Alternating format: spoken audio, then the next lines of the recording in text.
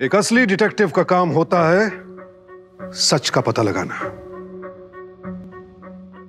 क्योंकि इस information as में आपको उंगलियों पर दुनिया भर की जानकारी तो मिलती है, और सच सच अक्सर आपके बिल्कुल सामने होते हुए भी छिपा रहता है।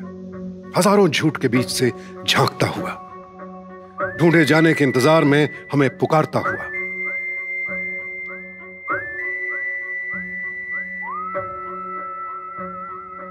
ज़रूरी होती है तो बस एक सच्चे डिटेक्टिव की नज़र।